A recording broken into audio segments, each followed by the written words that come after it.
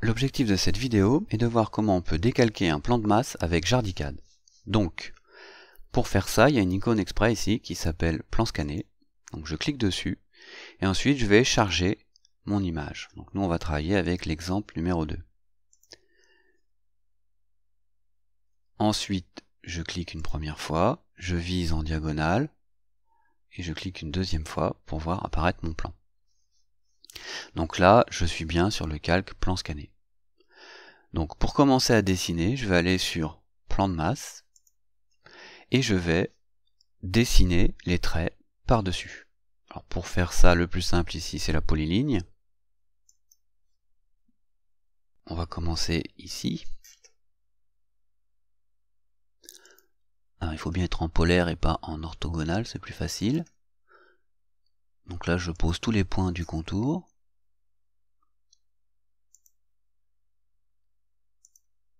Et ici, pour venir boucler sur le premier point, je fais C et je fais Entrée.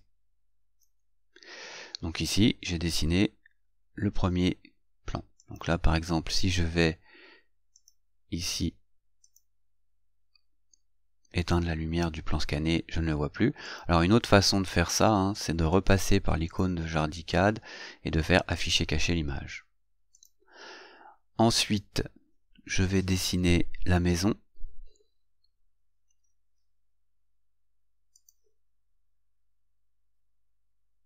Alors cette fois-ci, je vais me mettre en orthogonal, j'appuie sur F8.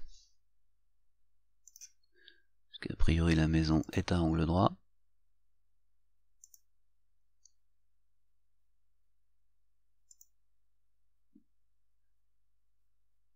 Si vous voyez pas bien, hein, faites roulette de la souris pour mieux voir ce que vous faites. Plus vous serez prêt, plus votre plan sera précis.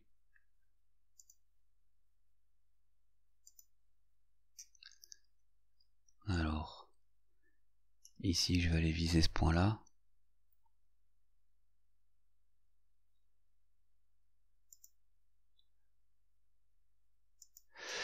Ensuite, je vais faire la terrasse autour. Échappe et je reprends une polyligne.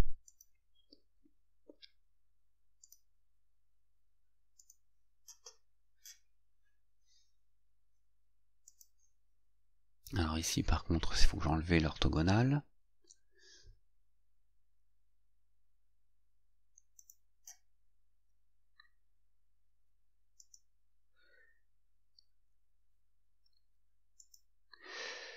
Entrer.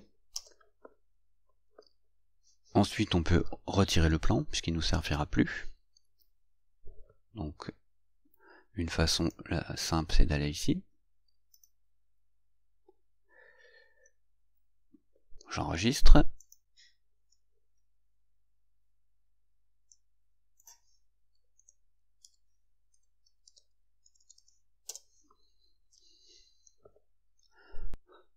Ensuite, donc, nous allons pouvoir coter le plan. Donc, il nous faut une valeur qu'on connaît. Donc, je sais moi que cette longueur-là mesure 50 mètres. Donc, ben, j'ai juste à appuyer sur la touche U de mon clavier. Je clique une première fois. Je clique une deuxième fois. Et là, je spécifie que entre ces deux points, il y a 50.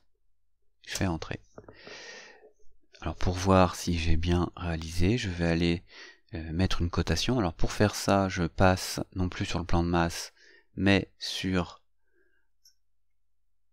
la couche des cotes. J'appuie sur linéaire, je clique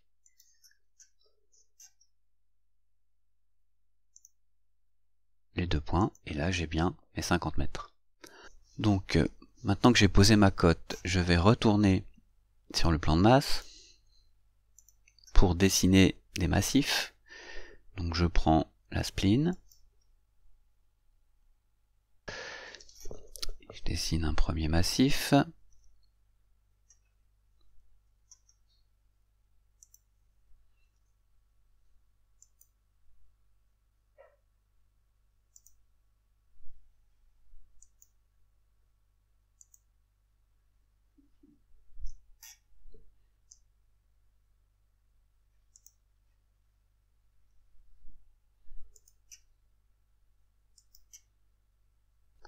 Je fais C pour clore. Je fais un deuxième massif en bas, à la pointe du plan.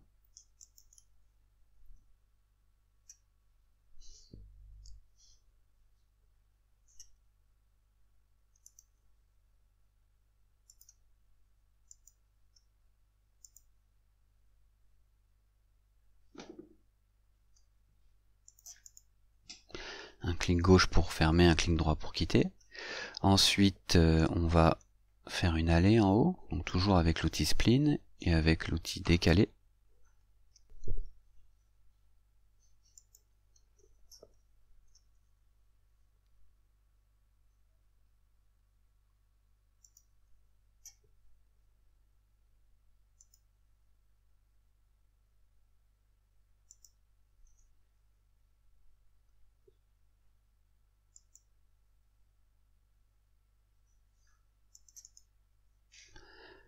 Ensuite, donc ici décaler.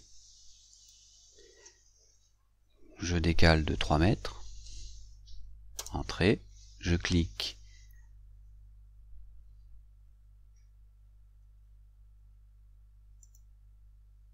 Et je la décale vers le bas. Je fais échappe pour sortir de l'outil.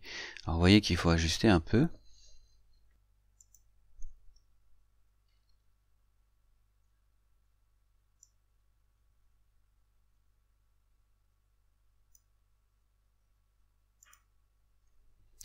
Et puis l'autre côté, on va aussi ajuster avec l'outil ajuster. Donc il me demande ajuster à partir de quoi Je vais donner le bord du terrain.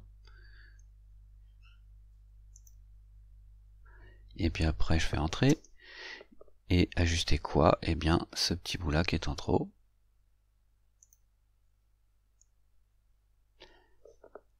J'enregistre.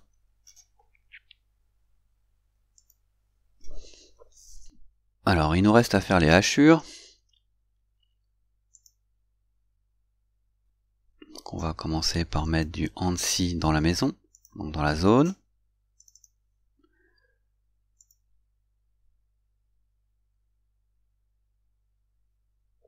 Alors parfois ça fait ça, je ne sais pas pourquoi, mais il m'a pas mis la couleur noire que j'avais demandé, donc je vais sélectionner comme ça.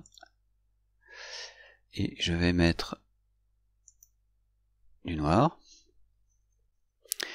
Ensuite, il reste la hachure sur le contour de la terrasse.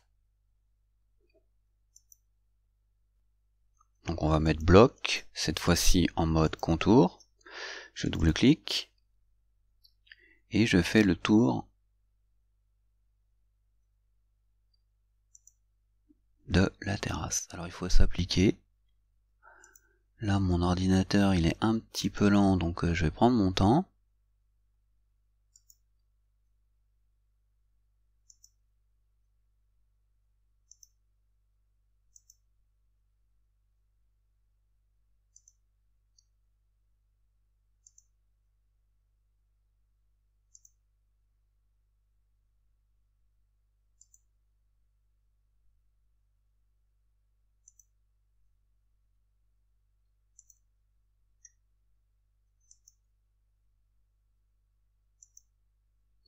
Une fois que j'ai fait le contour, je fais entrer pour valider. Alors, même chose. On va aller vérifier, mais à mon avis, il a juste euh, pas mis la couleur que j'avais demandé.